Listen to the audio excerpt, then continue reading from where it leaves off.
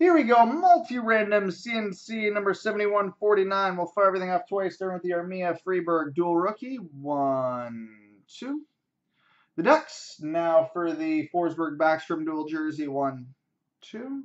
Capitals, now for the Tundra Trios. One, two. The Bruins, now for the six-way booklet from the Cup. One, two.